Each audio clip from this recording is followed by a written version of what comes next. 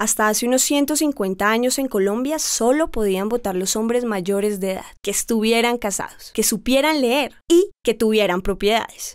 Ya en 1936 dejaron que todos los hombres votaran. ¿Y cuándo votó por primera vez una mujer?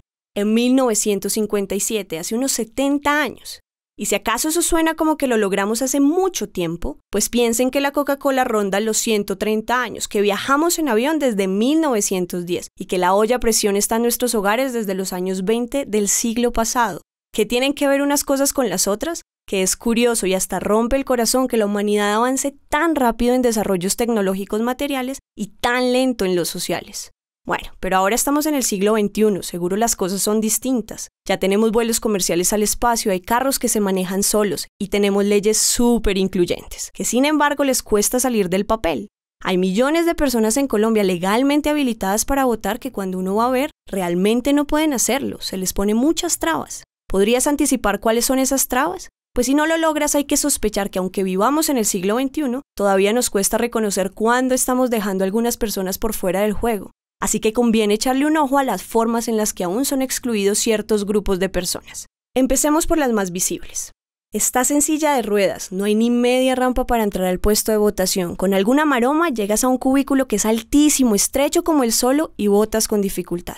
Otra escena, tienes problemas para escuchar, es la primera vez que votas, los jurados no tienen ni idea de cómo ayudarte. Y para acabar de completar a tu lado hay alguien que no ve y resulta que no hay suficientes tarjetones con sistema braille. ¿Se puede complicar más la cosa?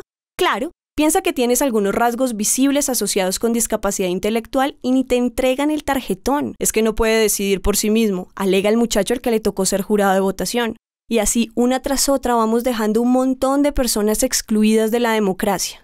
¿Y como de cuántos humanos estamos hablando? En Colombia hay por lo menos un millón y medio de personas con alguna discapacidad, o sea que un millón y medio de votantes y potenciales votantes encuentran o van a encontrar barreras para ejercer su derecho. Y si con 900 mil votos o se escogen alcaldes o se marca la diferencia para la elección presidencial, personas que suben al poder para representar los intereses de sus votantes, pues se nota que las barreras que mencionamos no son un tema menor. Esas personas excluidas podrían cambiar el rumbo de una ciudad o incluso del mismo país. Recordemos, y vamos a empezar con los casos visibles. Ahora sigamos revisando otros casos de exclusión.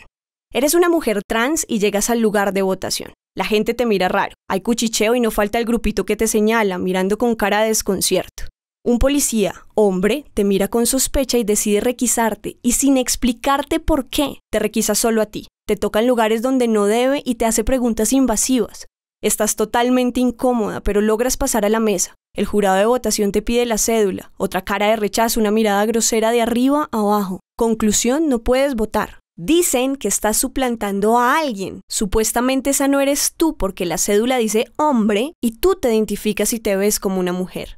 Estos escenarios de exclusión dibujan una imagen clara. Nuestra democracia se tambalea. Y podemos seguir hurgando el problema. Ya no hablemos solo de la posibilidad de elegir, sino de la de que nos elijan. Pensemos en una población, digamos, pequeña, el 51% de los habitantes de este país. Ya vimos que a las mujeres se nos hizo el favor de dejarnos votar apenas hasta la década del 50. Pues bien, por lo menos se garantizó ese espacio de participación.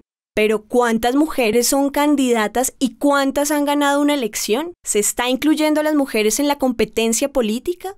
Medidas como la obligación de incluir por lo menos un 30% de mujeres en las listas para las corporaciones públicas, que pueden ser medidas acertadas o no, ese no es el punto de este video, dan cuenta de un problema que seguimos tratando de resolver, la exclusión política contra las mujeres. Y se enfatiza el problema con todo lo que ocurre en su implementación, Primero, las trabas que ponen algunos partidos políticos para darle aval a las candidatas. Segundo, que cuando sí las avalan, en muchas ocasiones no reciben el mismo dinero o visibilidad que los candidatos hombres. Tercero, dentro de sus mismos partidos son tratadas con menosprecio. Y cuarto, la violencia, ataques o agresiones a las candidatas por el hecho de ser mujeres participando en política. ¿Pudiste anticipar alguno de estos ejemplos de exclusión? Sí, sí, bien, vamos por buen camino. Pero ahora, para que no queden dudas, pensemos en las consecuencias. ¿Qué implica que haya ciertos grupos de personas que ven limitada su participación política, sea para elegir o para ser elegidas? Recordemos que solo hemos dado algunos ejemplos. Hablamos de personas con discapacidad y personas trans que tienen dificultades para votar. Pero ¿cuántas son candidatas? ¿Cuántas están en el Congreso, en asambleas o en algún consejo municipal? Lo que esto implica en términos de la democracia es que el país está tomando decisiones para su futuro y el bienestar de sus habitantes sin tener suficientes personas que representen la diversidad de la población colombiana tanto porque las personas que nutren esa diversidad no están en los cargos de representación, como porque encuentran barreras para elegir a quienes podrían representar sus intereses.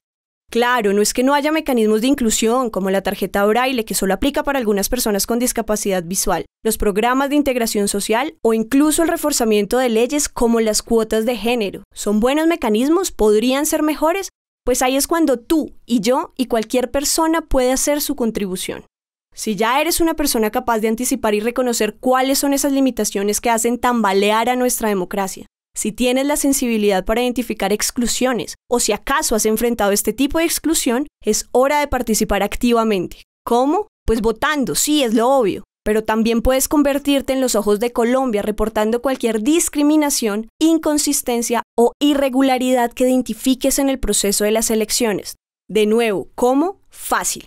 Entras a pilasconelvoto.com, asegúrate de haber recogido alguna evidencia, tómale foto y cuentas en la plataforma los detalles de esas cosas que pasan en la democracia colombiana y que definitivamente no tendrían por qué estar pasando. Pilas con el voto es una herramienta de la misión de observación electoral, mejor conocida como la MOE, que amablemente nos invitó, patrocinó y nos dio la información para hacer este video. Nosotros felizmente aceptamos la invitación para tratar de contribuir a una Colombia sin discriminación. Ya conoces los escenarios de exclusión política contra personas con discapacidad, personas trans y mujeres. Ahora, pilas con el voto.